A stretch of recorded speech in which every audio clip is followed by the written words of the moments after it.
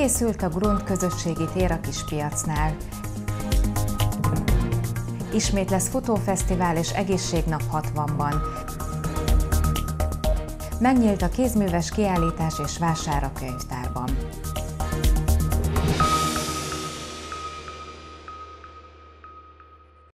Köszöntöm kedves nézőinket! Önök a 60 televízió híradóját látják. Barna Boglerka vagyok, mondom a részleteket. Hivatalosan is átadták a Grund közösségi teret a kispiacnál. A több mint 480 négyzetméteres terület öntött gumiborítást kapott, emellett padokat, kerékpártárolókat helyeztek ki, és térkövezett területeket alakítottak ki. A projekt a 2022-es közösségi költségvetésből valósult meg összesen több mint 50 millió forintból. Teljesen elkészült és hivatalosan is átadták az új közösségi teret az új hatvani kispiacnál. A kicsik örömmel vették birtokba a területet. Fogúcskáznak, labdáznak és táncolnak a grundon. Egy, két, három, öt, hat, Szeretnék ide kijárni, mert nekem nagyon tetszik ez az egész, és hát szerintem itt mindenféle jót focizni, kosárra dobni, ilyesmiket. Én aerobikozok, és biztos fogunk majd kijönni a táborral, meg kosarazni, és sokszor fogok ide járni. Mi többször is fogunk ide kijárni, igazából nem táncolunk mindannyian, de, de a barátnőm kitalált egy ilyen táncot, és most nagyon jó, mert mindenkinek nagyon tetszik. És úgy gondoltuk, hogy ez nagyon jó ez a grund, ezért többször is fogunk kijárni ide. Bár tavaly október végétől a fiatalok már használatba vehették a teret, végleges formájában azonban most készült el. A több mint 480 négyzetméteres terület öntött gumiborítást kapott. Foci, kosár, tegból, valamint egy pingpongpálya is várja a sportolni vágyókat, melyet egy 5 méter magas védőhálóval kerítettek körbe. A Grunda közösségi költségvetés részeként csak nem 33 millió forintból valósult meg. Emellett a pálya körüli területrendezést az önkormányzat saját forrásból finanszírozta, így három betonkő burkolatú gépkocsi parkolóhelyet és a hozzájuk kapcsolódó járdát is kialakítottak. Padokat, kerékpártárolókat, információs táblát és hulladékgyűjtő edényeket is kihelyeztek a területre. Kondek Zsolt a kerület képviselője, az Oktatási, Művelődési, Sport és Ifjúsági Bizottság elnök helyettese elmondta, közösségépítő szempontból nagy jelentőséggel bír a most átadott tér. Ez a sportolóknak egy kiváló lehetőség, hogy itt összegyűjjönek, jól érezzék magukat, mozogjanak. Itt ebbe a centrum részbe, tulajdonképpen új 60 centrumában most már a második ilyen beruházás valósul meg, amiben sportolni tudunk, hiszen itt a Kondipark, és itt van ez a Grund. Horváth Rihárd polgármester emlékeztetett arra, mivel ez a projekt is a közösségi költségvetés része volt, így ennek kialakításáról is a hatvaniak döntöttek. Elkészült a pálya, és akkor volt az érdeklődés, hogy bár be volt zárva az ajtó, de rengeteg gyerek használta a pályát, bemásztak a háló alatt, és használták a pályát, ezért mi akkor úgy döntöttünk, hogy kinyitjuk. Majd most elkészült a, a pályának környezetének is a rendezése, minden, amit terveztünk, az elkészült, és most átadtuk hivatalosan a hatvaniaknak a grundot. Horváth Rihárd felhívta a figyelmet arra, hogy az idei közösségi költségvetés projektjeire még április 9-éig lehet szavazni. A közösségi költségvetés.60.hu weboldalon, vagy a levélben található szavazólapon, melyet kitöltve a polgármesteri hivatal ügyfélszolgálata mellett elhelyezett turnába dobhatnak be. Postai úton is visszaküldhetik a hatvaniak a szavazólapot az önkormányzatnak. A 2023-as közösségi költségvetésre is 100 millió forintot különített el az önkormányzat. Ismét megrendezik 60-ban a futófesztivált és egészségnapot április 22-én. A versenyen az óvodásoktól a felnőttekig minden korosztály rajthoz állhat. A nevezéseket április 16-ig várják a www.60félmaraton.hu weboldalon keresztül. Az esemény célja, hogy felhívják a figyelmet az egészséges életmódra, az aktív sportolás fontosságára. Hetedik alkalommal rendezik meg 60-ban a Futófesztivált és Egészségnapot április 22-én. Az eseményen minden évben több százan vesznek részt a futamokon, az óvodásoktól a felnőttekig minden korosztály képviselteti magát.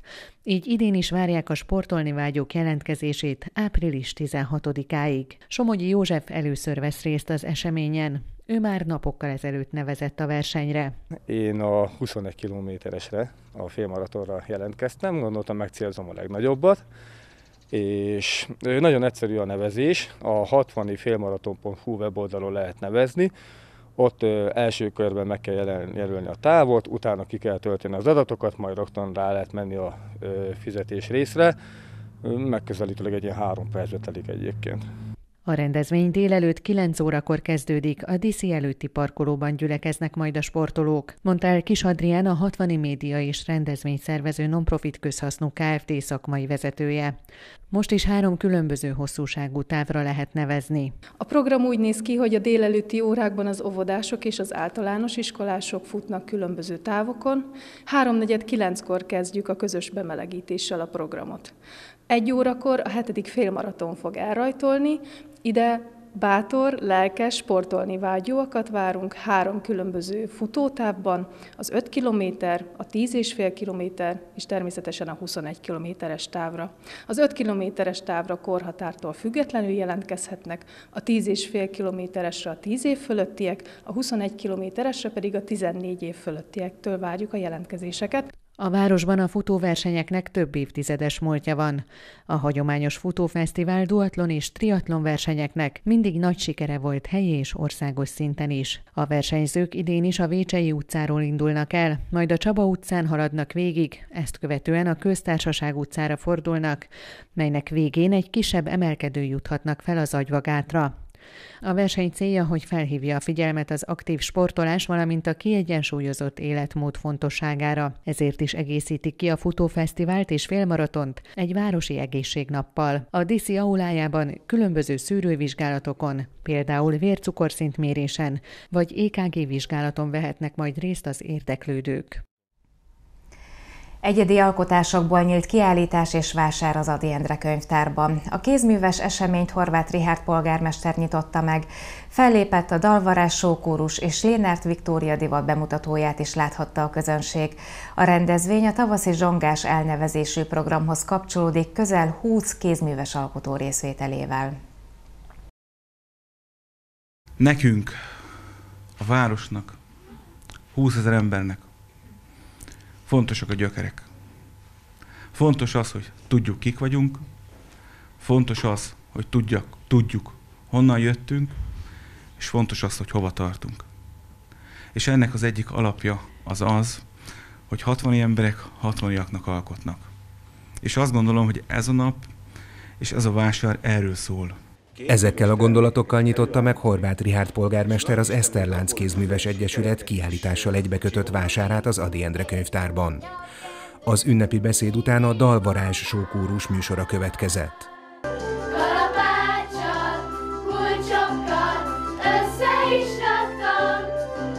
Majd Lénárt Viktória tavaszi-nyári ruhakollekcióját tekinthette meg a közönség.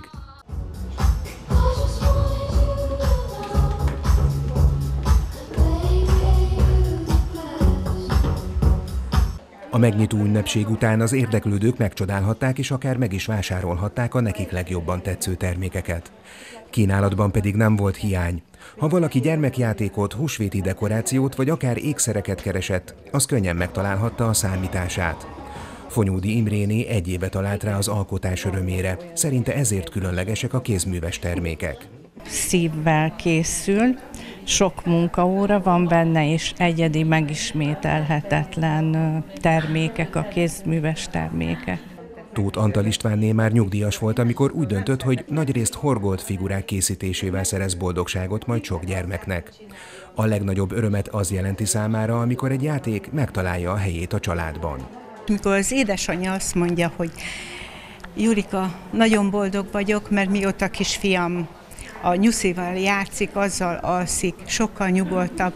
Olyan ez, mintha a játék egy szeretetet sugározna kifelé, és a gyerekem nyugodt tőle. És ez nekem nagyon jó, és több ilyen visszatérő vásárlómban. A minőség mellett a tartóság is megkülönbözteti a kézműves termékeket a tömeggyártással készült tárgyakkal szemben. Erre már Porné Mike Éva, az Eszterlánc Kézműves Egyesület elnöke hívta fel a figyelmet. Az embereknek ne az legyen az első, hogy berohan a legolcsóbb boltba és megveszi ott a leggagyibb minőséget, hanem tényleg egy tartós, szép kivitelezésű, jó minőségű terméket adjanak egymásnak, vagy azzal dekoráljanak, vagy ugye vannak nálunk ékszerek, lakásdekorációk, tehát bármi olyan használati tárgy, amit vesznek nálunk, garantáltan jó minőségű. Az Egyesület elnöke hozzátette, a kiállítással egybekötött vásár április 1-ig tart. Azonban április 22-én újra lehet majd találkozni az alkotókkal és munkáikkal a Futófesztivál eseményén 60-ban a Tarka piacon.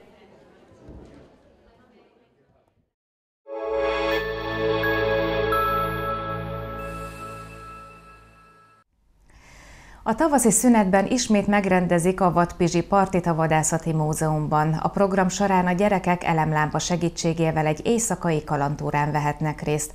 A vacsora és a forró kakaó elfogyasztása után pedig közös játék és tánc lesz a középpontban, majd a múzeum dísztermében hajthatják álomra a fejüket.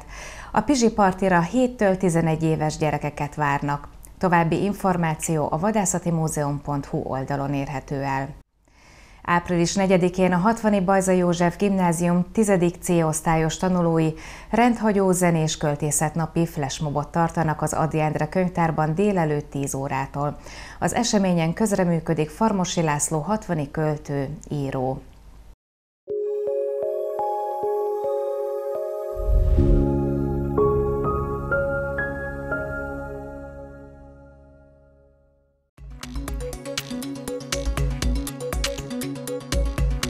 Szerda hajnalban országszerte fagyhat. Napközben több lesz felettünk a felhő, hosszabb, szűrt napos időszakokra kereten számíthatunk.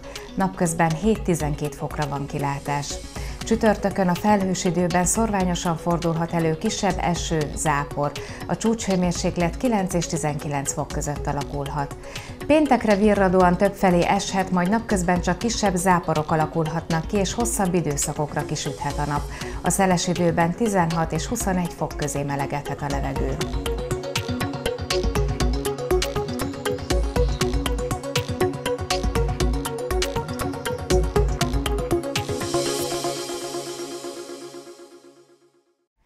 Kedves nézőink, ezek voltak a legfrissebb híreink. Most a mesepercekben a Két kicsi bocs meg a róka című mesét hallgathatják meg a gyermekek, majd a kommentárban Horváth Rihárd polgármester beszél az idei közösségi költségvetésről. Ezt követően az Aktív 60-ban a Boldagi Farsangi Fánk történetét ismerhetik meg. Adásainkat visszanézhetik a 60 TV YouTube csatornáján és Facebook oldalán, híreinket pedig megtalálják a 60hírlap.hu weboldalon. Ha tehetik, maradjanak velünk! Viszontlátásra!